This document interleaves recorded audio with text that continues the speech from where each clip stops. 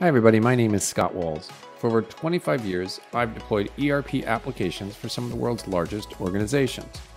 During that time, I've taught thousands of people just like you how to discover, use, deploy, and support Oracle's back office software. In this lesson, I'm going to walk you through the Purchase Agreements application. Please note that this lesson is part of the Purchase Agreements course found within the Procurement functional area under the Discover menus. But before we get started, did you know that you could earn free discovery badges for display on your LinkedIn profile just by watching videos like this one? You can. Stay until the end of this video and I'll show you how. Okay, so let's get started. Key topics for this lesson are as follows. First, seeded users. So we'll walk through a seeded user for the app. Next, how to navigate the application. Third, the application homepage. Fourth, application transactions, and then finally transaction search options, both basic and advanced. Before we jump in though, it's worth it to note that this is a Discover video. So Discover videos talk about what an application does. If you want to learn how to use and or how to deploy the application, then watch the videos under those menus.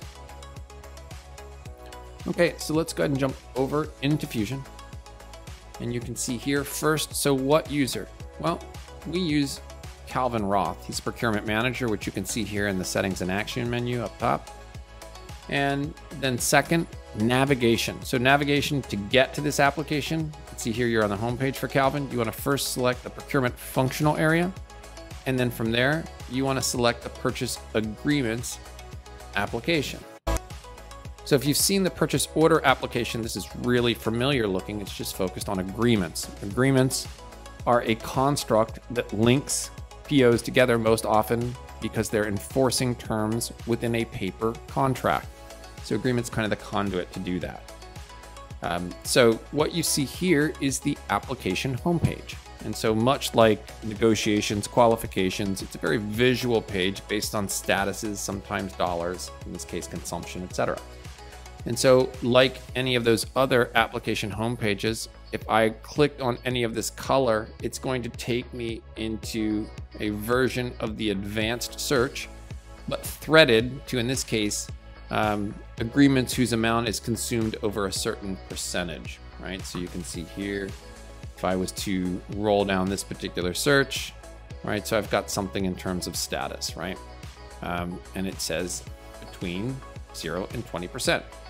So uh, we'll get to more of that when we get into the transaction search options, but it's just a little bit of what's in that particular home page. and go back, um, but I can see agreements in process, agreements with no activity, consumption. So again, that's POs and how much of that particular agreement has been consumed, and then a couple other values as well. So if I want to uh, add more info tiles, I could do so here if I wanted to see the agreements that are expired. And I can also click this that refreshes the data here. And so that's the application homepage. Now, if I want to understand what transactions can be done, well, it's very, very standard. So you can see here first, I'm going to go a little bit in reverse order. This is if I want to look at queries. So if I create my own, great, or we'll call analytics. Um, and if I want to look at shared, I can do and take a look at whatever's been shared with my user. Next up, if I wanted to see recent, so these are some of the BPAs or agreements that this particular user has been in and out of. And then next, if I want to search, so I could do any of the different transactions that are in this page, I could search on those. So you can see those here. I can change those. And then lastly, and this, this will make sense because it's going to be laid out very similarly.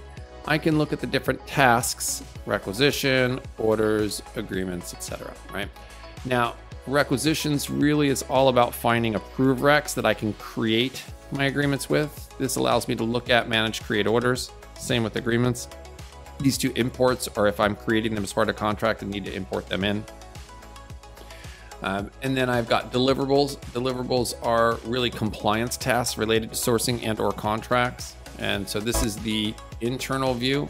Supplier obviously most often doesn't have to be. You can have tasks that are internal, you know, an end of contract or annual review. But most often they're external tasks where the supplier has to do something. So he or she, the supplier, would have their own version of looking at the deliverables due them. So then supply base is kind of nice. So different than going into suppliers. These are um, some ability to search on suppliers by assessments, qualifications, etc. It's a uh, well done page. And then uh, this isn't even a transaction. This is simply if or, or if your uh, user was able to do some of the administrative tasks. You would see it here, like adding a buyer or procurement agent, etc. So uh, that's it for the application transactions and where they're set up. So now next up is the final transaction search options. So both basic and advanced. So if I click any of these like we saw, I would have gone into the basic search. I can also get there by saying, all right, here's manage agreements. Let's select that.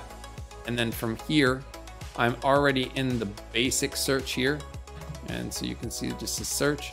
And I've got some different uh, keywords and filters I can use. Um, I can also go to advanced search. You can see that allows me to add fields. It also shows that I've got more fields out of the gate that I can search on. And when and if I search and get results into the grid or section below, then I have some different options here. If I want to further filter what's been returned, I can do so by adding some high order filters up here. I could then push this out to Excel here, or I could even go within the actions as well. Sometimes you'll also see ADFDI as another way to, to uh, move data around. And then obviously I could even add new here as well. If I feel like I want some more data returned or I want to see less, this is a way that I can change the columns that are in the results for what I get down here on my search. So uh, that's it for the application walkthrough. We talked about the seeded user, Calvin Roth. We showed how to navigate to the app. We showed the homepage. We showed the transactions that can be created, and we walked a little bit through the search options, basic and advanced. Actually, one last thing, sorry, that I didn't really highlight.